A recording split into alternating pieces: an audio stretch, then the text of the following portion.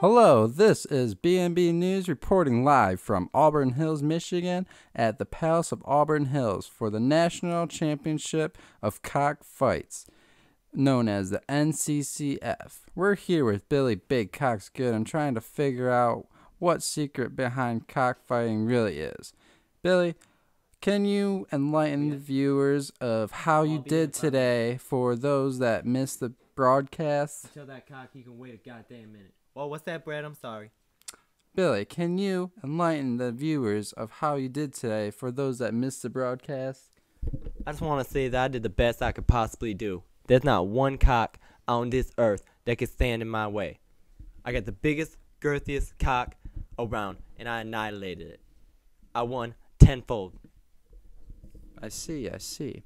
And uh, what was the gluten substance that you lathered up your cock with before the fight called? That's just, you know, that that's just a little lube. Um, it, it's it's good to uh, keep your cock slippery because when it comes in contact with other cocks, it actually uh, it helps because it deflects attacks. Now you have you can have a big black cock against a small white cock. If that big black cock doesn't have any lubricant on it, and the white cock does, the white cock's gonna win. And the reason for that is is deflection. Brad. Thank you, Billy, for that. And um, is there any special diet that we need to keep in mind in case we too would like to beat some cocks? Uh, yes, Brad. Um, it's very important, very important that you, you feed your cock a lot of protein. Okay, it gets your cock big, it gets it strong, it gets it ready for action. Also, Brad, I would like to inform the audience that it's a good idea to feed your cock carbohydrates because what that will in turn do is give it energy throughout the day to to bang some cock out.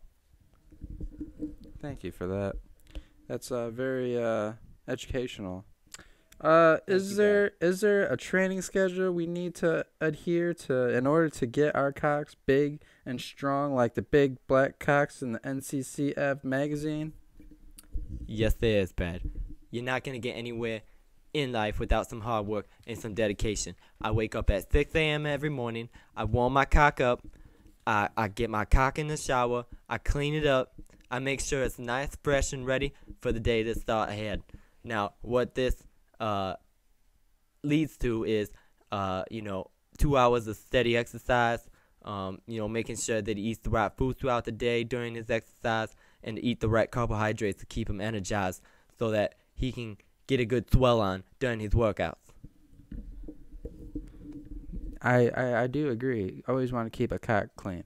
Yes, Um, is there any nerves in a cock when it comes when it gets ready to stick it to another cock? I only ask because of the cocks throwing up earlier.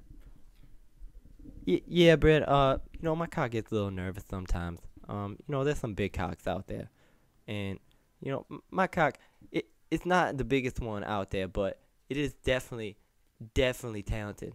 I got one of the most talented cocks, almost like Muhammad Ali. He he moves like a butterfly, but he stings like a bee. Okay, and my cock definitely stings like a bee. It doesn't move like a butterfly though. It moves more like a uh, like a night crawler or a, a snake. That's a that's a great analogy. Other than that, is there anything to use to improve the cock's performance, like the cock pumps I've seen on TV?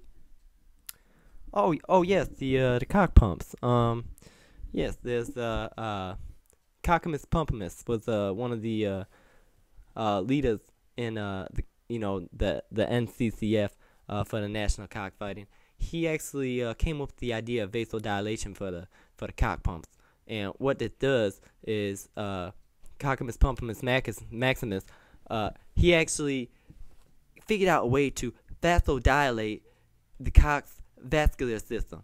This in turn opens up their vascularity, allowing more blood to flow through, giving it a better pump, and in turn giving it better workouts, better results, and better in action.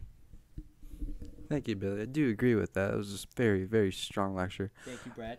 What was the uh what was that rubber latex object on your cock's head before that battle? What what was that? I just couldn't get that off my head. Oh, that's just the um, Trojan actually invents uh, Under Armour for uh, the cock to wear. Um, this actually, what it does is It helps it stay, you know, lean cut. Um, it's good to be more aerodynamic in battle. Um, and what happens is when you put the the glutinous uh, substance that you were talking about earlier, the lube, uh, you put that actually on top of the latex itself because it is slippier, slipperier than the cock's, you know, natural surrounding on its body. Now, also in turn, this actually protects the cock from getting any illnesses from any other cocks because my cock does beat some cocks' asses. It, I mean, it does pulverize some cocks, so I, I like to keep it nice and covered up because I don't want it to get sick. Yeah, I definitely agree. I wouldn't want to throw my cock in the ring with a sick, Definitely not. sick, sick, or just falling off or something. I don't know what that is. But, Definitely. anyways, last final question: What is your motivations around and throughout a cockfight, and how do you approach an angry, mean black cock? You know what motivates me the most is when you just see the the sweat dripping down the back of that cock's ass. It just, you know, you you look at that and you're like, damn, that cock is ready. That cock is ready. I'm gonna get ready too for this cock. So once both cocks are ready, that's actually a really motivating factor because we both like the same thing, and two cockfights, we're both doing what we love. It, it it's very important that you love what you do too, Brad. That's very important. Also, um, you know, throughout a cockfight, uh, you know, how do I approach a cock? You know, I like to take a little slow, especially if it's an angry cock. If you got an angry cock, you could definitely gotta think about how you're gonna take it, because angry cocks can be slippery. You know, they they tend to be really big if they're angry too, and it it's the it's bad news for your cock if you got a bigger cock that beats your cock up. All right, thank you for that. That was uh, Billy Gooden with that uh, little lesson that he just taught us about how he preps his cock for a Thank you, big Brad. fight. No, gonna, thank you. What? I'm gonna beat that cock's ass. Are you kidding me? Anyway, Oh, no. I'm Brad from BNB News. Stay tuned for the after report. And uh, Gingers have souls.